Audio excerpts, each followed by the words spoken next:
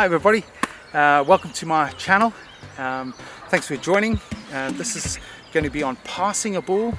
Um, really important that we get um, the different passes um, down properly um, before we start trying to go with the fancy skill passes. So the fundamental basic pass is just a ball with no spin on it. I know everyone loves to spin it or throw it out the back of the hand and do all those things. I'll teach that, but we get this right and then we go with the others. If we don't and we muddle between the two as you'll see, um, you'll never have a great pass. You'll sometimes throw a good one, sometimes not because you're not um, giving your brain, telling your muscle how to pass certain types of ball. So here we go.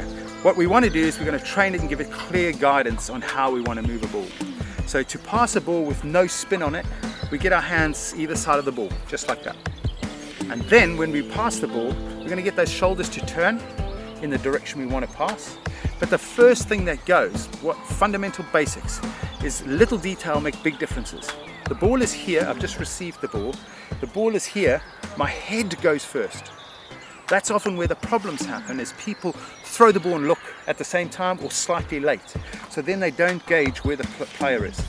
So again, repeat, repeat, repeat, and then it becomes normal and people look at you and go, how do you manage to, how do you see what ball to throw? So keeping your hands here, head goes first. Head goes first, then go. So watch here, catch the ball, head. So I'm practicing again, going through the basics, getting one element down at a time. Head goes first, then hands. On this side, head goes first, then hands. Now, what we want to do as well is if you think of a, of a gun, so a pistol is uh, not accurate, as accurate as a rifle. Why? Because the barrel of a rifle is longer.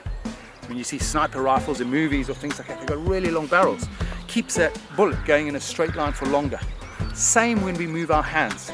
A good friend of mine, Stuart White from South Africa, he was the person um, I always wanted to be able to pass like him. I still can't, as well as he can. But if you watch the way he played and moved, very smooth, ball was always exactly where you wanted it and could throw short or long balls, no problem. And exactly in the right place. But he gets his fundamentals right. So his movement, what I learned very quickly is what he does, there's a lot of elements, but one of the things what I noticed very early on is his extension of his arms. So overemphasizing the arm movement. So really get long arms. So if you practice long arms, you see it now, especially in New Zealand, um, rugby, international rugby, you watch their training. Their training, they extend and hold their arms out like that once they've finished. So if you pause at the end with, with long arms, um, after a while that'll be a habit and you'll automatically do it. It might feel strange doing it at the start, but I promise you it is hugely vital for getting high percentage balls to your partner um, or your person to your right or left. And everyone wants to play with somebody who passes great ball. So here we go. So here, hands here, what goes first? Head. Head, then hands. Catch the ball. Remember when you also catch the ball, use the palm of your hand. If you get with the fingers, you bang your fingers or the ball bounces off. It's soft, get the palmy hand. Same when we use other balls, cricket balls, tennis balls, all those sort of things. Soft hand, get hit your palm of your hand. So your hands here and pass. If you're just learning, catching that ball is just um, catching it this way. Fingers down, palms up. More advanced, fingers up, palms down. But watch that ball and again practice catching the ball, watching it into your hands before you go through to your next move. Feet as well, really important, is that we are balanced. Balanced. That's I was saying with my friend Stuart White. He's very balanced when he plays. Catches the ball, nicely balanced and shifts the ball. So just nice and stationary, get someone on left and right, catch and pass. If you've got nobody, like I don't today, just practice even doing this. Because this is practicing doing the correct skill, but what you don't realize, what you're practicing as well, is faking the ball. So become good, like a good actor. Good actor draws you and makes you think that it's real. Practice making it, use those wrists and use those arms. Head goes first, head goes first. Sometimes just even doing that makes the player go. My head's up, I'm looking, I can see what they're doing, I can see my partner, everything is in front of me.